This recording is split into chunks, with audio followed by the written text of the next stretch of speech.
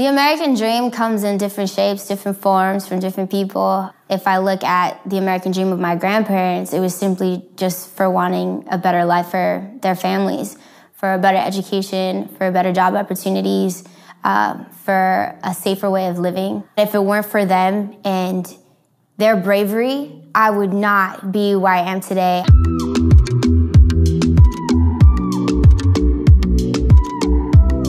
My grandparents are from Mexico. They came here and they made something out of nothing. I mean, we're talking no money in their pockets and clothes on their backs. My grandparents on my dad's side is Miguel Gomez and Crucita Gomez. My grandpa Miguel, he was the first to come from that side of the family. And he left behind my grandma and his sons.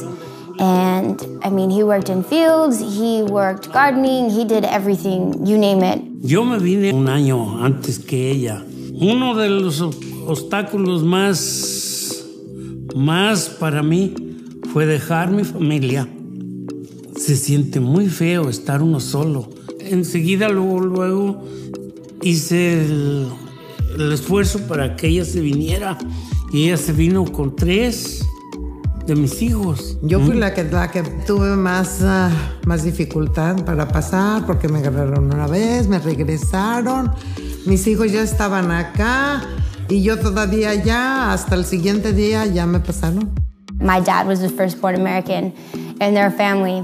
And they call him their little miracle baby because he kind of changed it all. My grandparents on my mom's side are Ángel Esquivies and Guadalupe Esquivies. Yo me vine en 1966 la primera vez en cajuela de un carro, donde casi me venía ahogando en el camino por el humo del carro. Venimos, yo en personal vine por, por necesidad, porque tenía hambre, porque había mucha pobreza en mi casa. Yo pensé, dije, yo voy a ir a Estados Unidos para poderlo ayudar.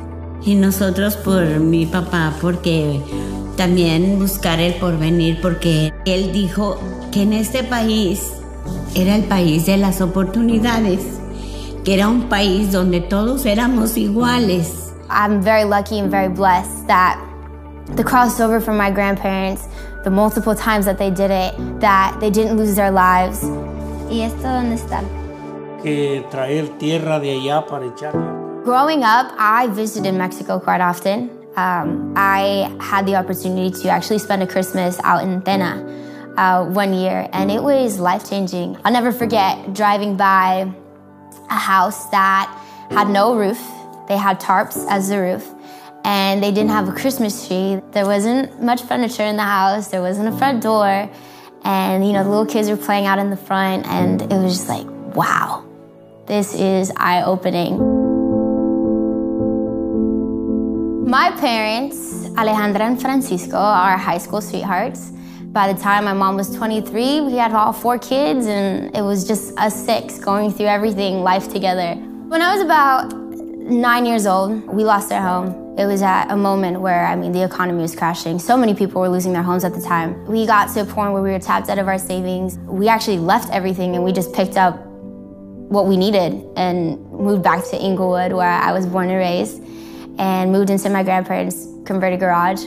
It's like that pre-teenage age where you're like old enough to know what's going on, but you're too young to actually do something about it. I decided that, you know, the one thing that's always been there for me, besides my family, was music. And that's when I turned to it the most.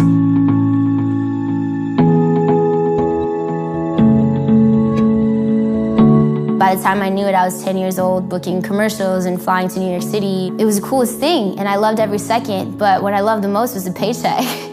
And if we're being honest, what I loved the most about the paycheck wasn't the fact that it was my money, but it was our money. I was bringing something to the table, and I was so happy just knowing that I was able to contribute to, you know, what my dad was doing for us and what my mom was doing for us.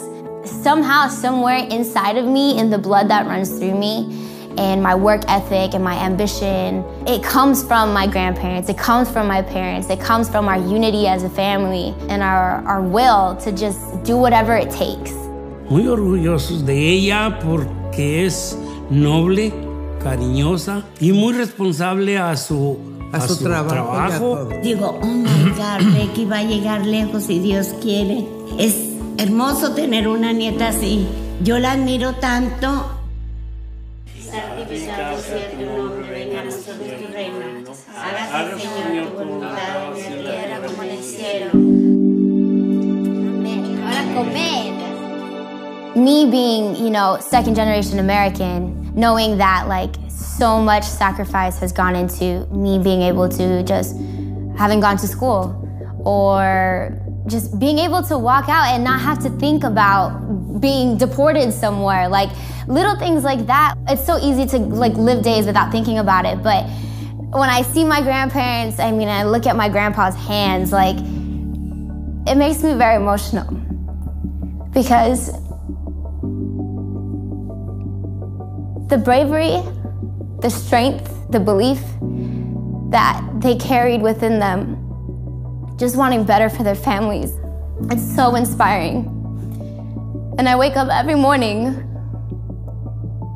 knowing that I want to make them proud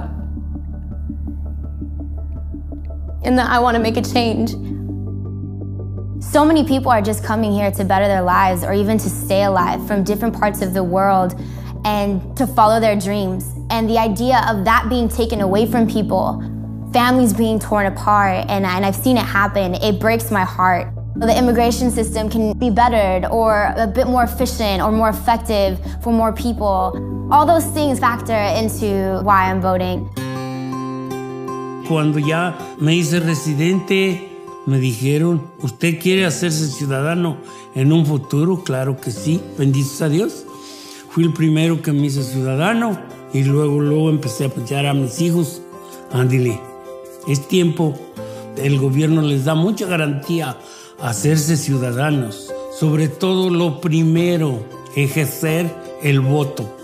Nuestro voto es muy importante en estos tiempos. Todos tenemos que votar, que nadie se quede en su casa. To make a change, we have to really be aware and not be afraid to speak up. It's one thing to tweet about it, but it's another thing to go and register to vote and actually use your voice.